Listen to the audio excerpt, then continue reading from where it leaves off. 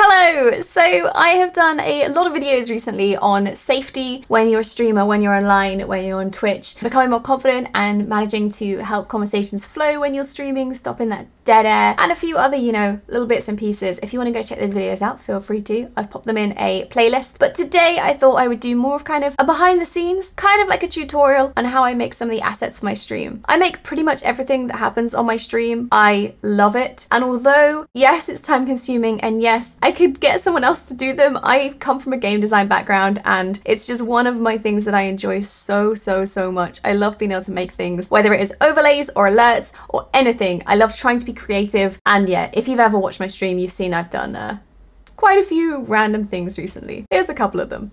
We got 15 seconds. They're still going for it, Kieran. Now I don't think they're going to be able to score. Record. That was a game, wasn't it? Let's let's break that down, Kieran. Kieran, as the name strategy expert, tell me what we just saw. Which means we have the absolute pleasure of reliving this performance. Let's go! Um, So the first person I need to give a date to is my mum, which makes me a little bit um, nervous, but that's fine. It's fine. It's fine. It's totally fine.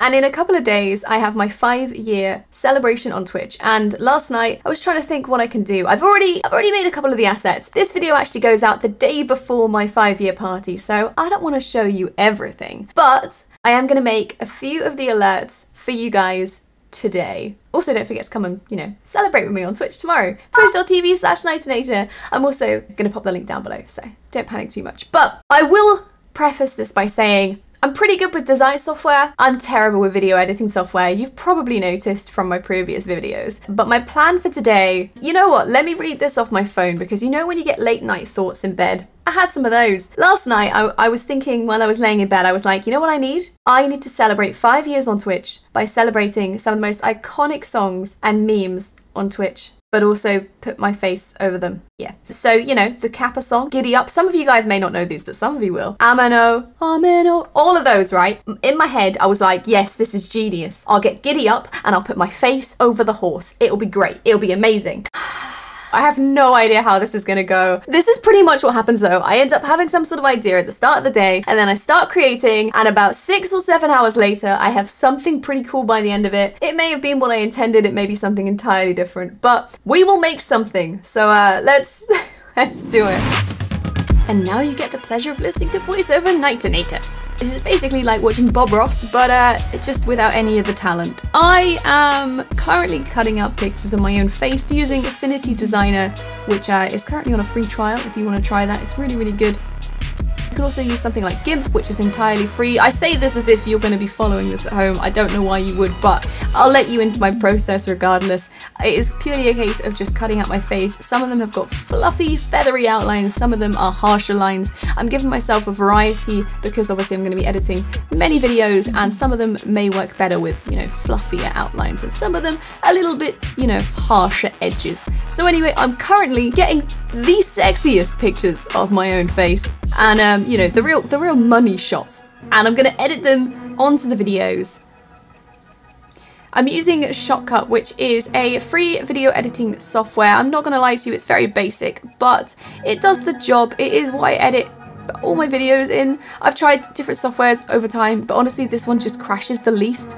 I, I've even had paid versions, but yeah, uh, anyway. Um, I'm editing my face over the Kappa uh, over the Kappa remote, which I'm not gonna lie to you, it's nightmare fuel, I'm so sorry.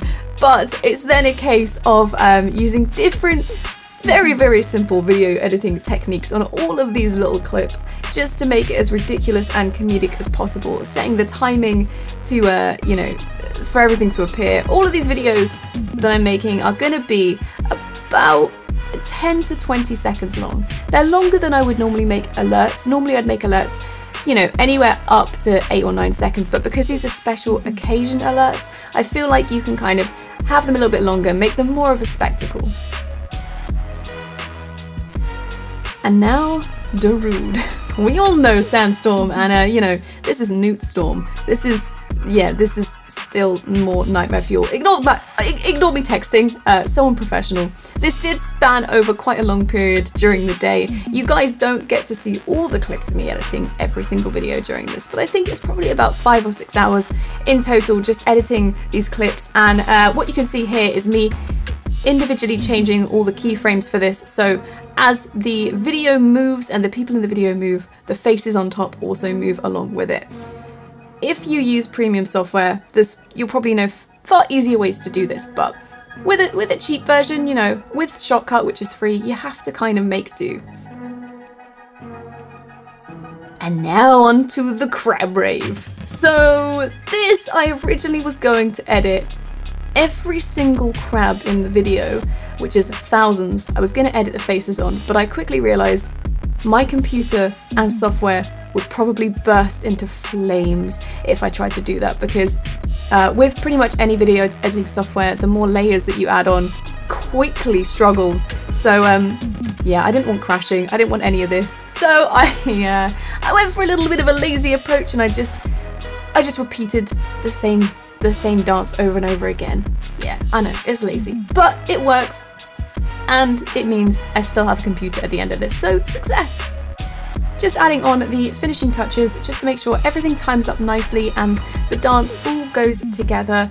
And in terms of the sound files, I have been adding in uh, special effects such as a little uh, whoosh, you know, sound effects.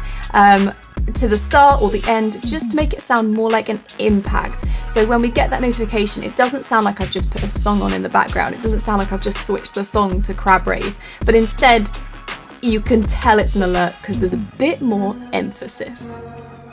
I'm then popping these onto StreamElements and setting them up so they are ready to go, changing the duration so it plays the entire alert. And that is pretty much everything.